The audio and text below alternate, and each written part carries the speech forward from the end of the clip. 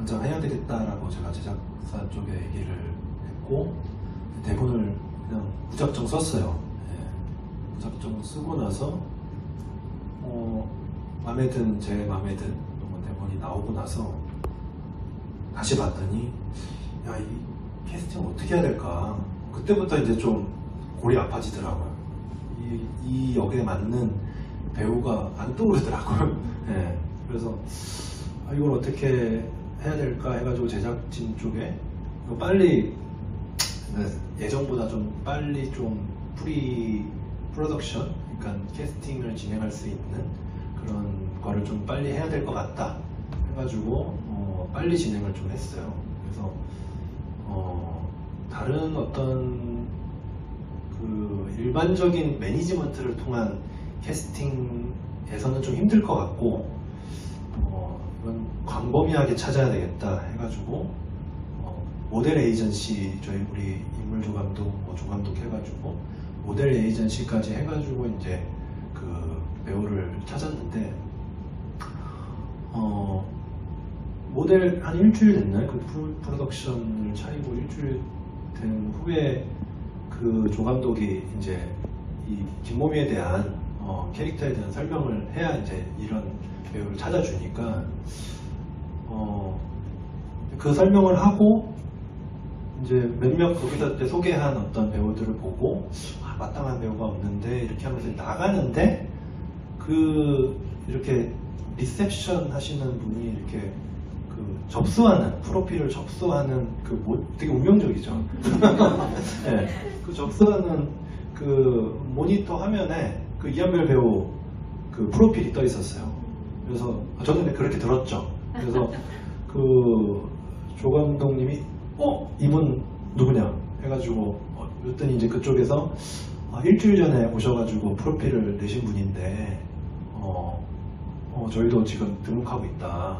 그래서 어 이분 프로필을 저희가 좀 가져가고 싶다 해가지고 저한테 보여줬고 저도 보고 어 느낌이 확 왔어요. 그래서 어, 이분을 한번 뵙고 싶다 해가지고 이한별 배우를 만났고 어, 이한별 배우랑 이렇게 얘기를 나눴는데 굉장히 차분하고 굉장히 지적이셨고 또 굉장히 인간적인 매력을 제가 느꼈어요.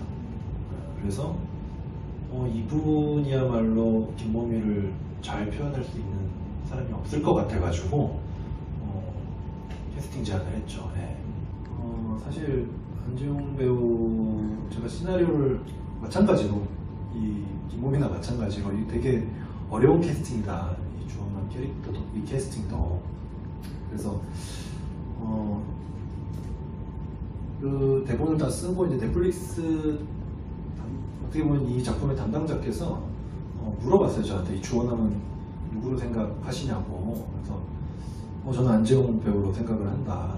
그랬더니 응? 이러더라고요 그래서 그 반응이 어, 과연 그 안재홍 배우가 이 역할을 해줄까 어, 그런 반응이었어요 그래서 저도 사실은 어, 좀 긍정적인 사고를 가진 사람이라서 어, 그래도 한번 넣어봐야 되지 않겠나 해가지고 다행히 제가 그 안지훈 배우 매니지먼트 대표를 좀 잘 알아서 네, 좀 한번 봐달라고 네, 얘기를 했죠.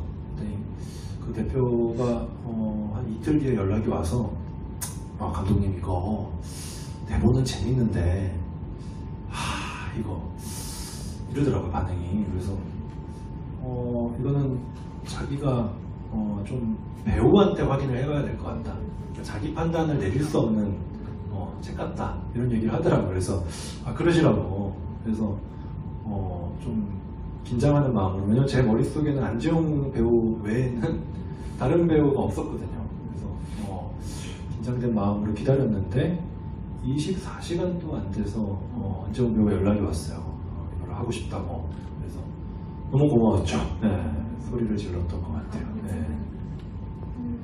어, 저도 이렇게 작가님 또 다른 어떤 제 해석이라고 봤어요. 이 어떤 그 영상물로 옮겼을 때는 웹툰은 웹툰들이 너무 재밌는 그 부분도 있고 또 그만의 가치가 있지만 어, 영상으로 옮겼을 때 또 주는 어떤 그 부분이 있기 때문에 이건 제 해석 이렇게 해야 되겠다라는 생각으로 작업을 했었고 어, 저도 사실은 뭐 전작도 마찬가지지만 원작을 어, 있는 작품을 연출을 두 작품을 했는데 어, 마스크걸 원작자님께서 어쨌든 최근에 저도 그, 그 원작자님도 이 시리즈를 쭉 보셨고 어, 배우분들 칭찬을 많이 하시더라고요. 네, 역시나.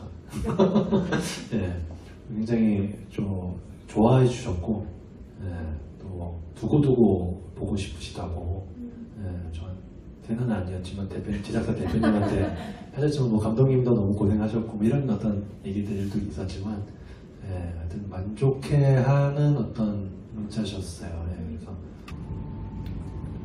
어,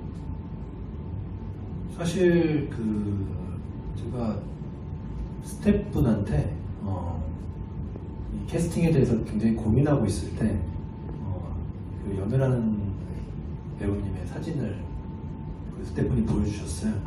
근데 그 사진을 딱 봤는데 어 마, 마치 그런 것처럼 운명적인 것처럼 네. 어 이렇게 놀랬던 게 굉장히 여성적이면서도 또 남성적인 느낌이 되게 있었던 사진이었어요. 그래서 어, 되게 묘하더라고요. 그 사진을 보는 순간.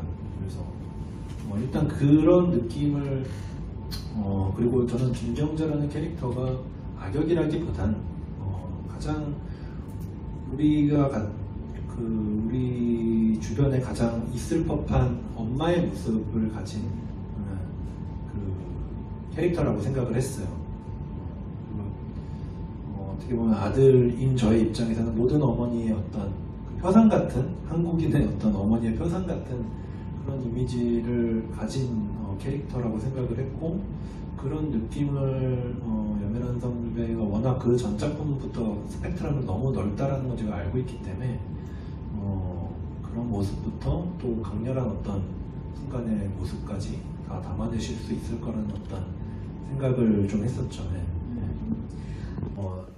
어, 이 마스크걸이 처음 본 것 같아요. 네, 이렇게 그동안에 웹툰을 즐겨보는 타입이 아니었는데 그러고 나서 한 10화 정도까지 보다가 저도 하차했어요.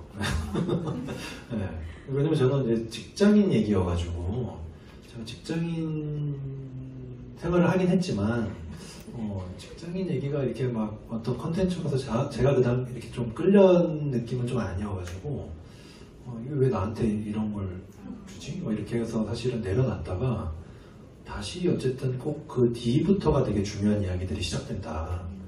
그래서 어 하면서 이제 봤어요. 근데 어 그 계속 쿠키를 쿠- 제작사가 또 쿠키도 안 주더라고요. 그래서 음. 그래서 쿠키를 웹툰에 보려면 쿠키가 필요하죠. 네, 네. 쿠키를 이게 또 대여는 200원이고 보유는 300원인가 맞아요. 그렇죠. 네. 그래서 대여를 계속 하면서 이게 계속 어, 뭔가 좀 아깝다 처음에 생각을 했는데 저도 모르게 계속 충전을 하고 있더라고요.